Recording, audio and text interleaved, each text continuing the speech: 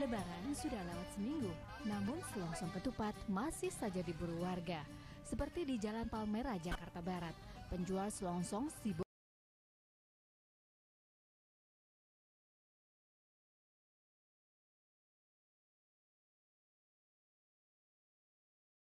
banyak pembelinya.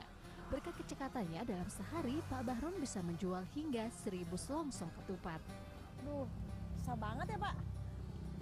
Saudara memang menganyam ketupat ini membutuhkan keahlian yang khusus. Di tangan Pak Bahrum, satu selongsong ketupat bisa selesai hanya dalam waktu 15 detik saja. Satu ikatnya dibanderol dengan harga Rp5.000 saja. Warga membelinya untuk merayakan lebaran ketupat. Lalu dimasak apa ya ketupatnya? bakal biasa sayur betawi biasa sayur betawi kacang semur daging ya sayur santan ya ada lauknya ya kayak